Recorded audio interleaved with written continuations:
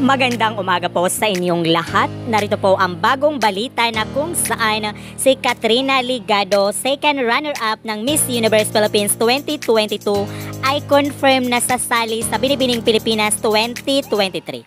Si Katrina Ligado ay nakalaban si Celeste Cortese na siyang nanalo ng Miss Universe Philippines 2022. Kung ikaw ay tatanungin anong title dapat kay Katrina Ligado sa Binibining Pilipinas 2023.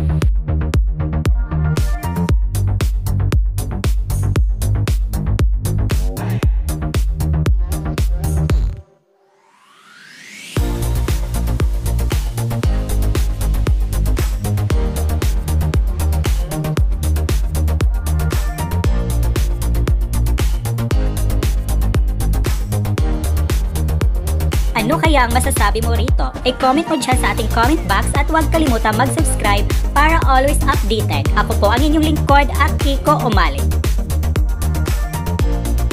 Huwag kalimutan mag-subscribe and click the bell para always kayo updated sa mga kaganapan. Maraming salamat po.